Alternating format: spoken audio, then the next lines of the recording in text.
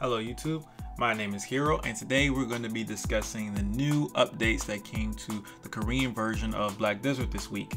Now, before we start talking about this, I just want to say that I did make a video entitled, entitled Black Desert Online Striker, Female Striker is 99% real and unfortunately Kakao has actually taken that video down and claimed it as a copyright strike, which is completely out of their rights because there was no content in that video that had anything to do with them.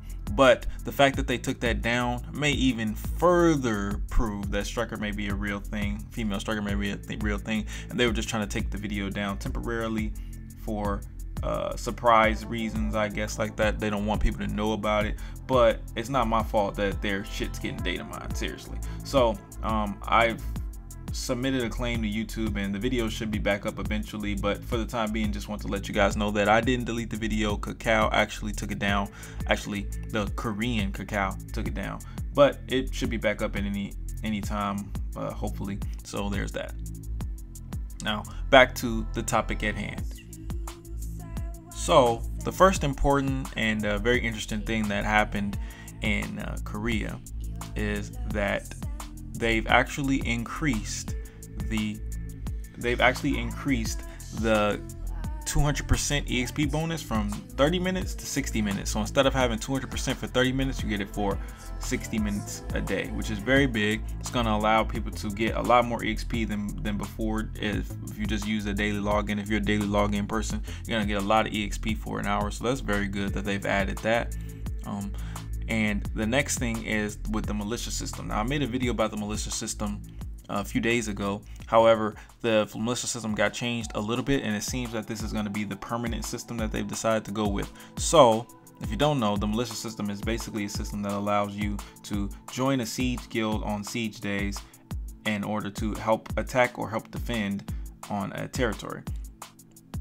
Now, what they've done since um, since militia system has been released, what they've done to balance it is they've made it so that the defending guild only has to defend for two hours, and then if they do that successfully for two hours, they automatically win. However, they've also made it now where if you destroy an uh, a gate of the fortress, you will add on a 30 minute timer. So if you destroy one gate, it will add 30 minutes. So instead of the defending guild have to defend for two hours, they'll have to defend for two hours and 30 minutes, just making it a little bit more balanced so that the guild doesn't just be able to camp for the whole time.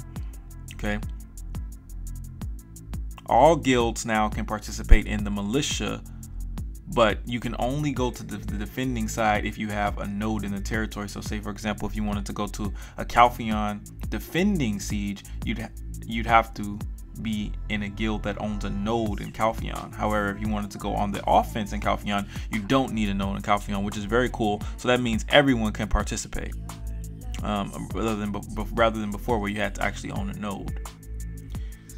And the guild members that are participating before they could automatically attack militia members, they weren't able to not attack them, but now they have to actually press Alt C to attack them. So that's cool the defending guild and the defending militia can't attack each other, and the attacking guild and the attacking militia can't attack each other either. And of course, you won't have to worry about any karma if you actually flag up. And militia can't attack anyone even if they flag up. So only militias can only militias can only attack other militias. They can't attack the actual guilds. So that's also very interesting. And there's also they've also changed the respawn location for the defending militia I'm um, not sure where the attacking militia will spawn, but the defending militia spawns near the castle. So basically, it's pretty much very interesting. You know, um, uh, just another thing that's been added to the game that's very cool is the militia system. I hope you guys are excited for it. It's gonna definitely add a lot more in-game PvP for those players who don't have uh, those big, you know, who aren't a part of those big guilds that get to participate uh, it's gonna be a freaking crazy Zerg fest when it comes to NA, unless there's more limitations that they're gonna add on later on. Not sure, but it's very interesting. So those are the two updates that are really big in the Korean version that uh, I think are going to change uh, quite a bit of things going on. I just want to let you guys know about that. If you guys have any questions, feel free to leave them in the comments. I'll be sure to answer them. Also, big shout out to my patrons. I really appreciate you guys. Thank you guys for the support. And thank you all for watching. Subscribe if you enjoy the content. See you guys next time. It's your boy Hero. Peace.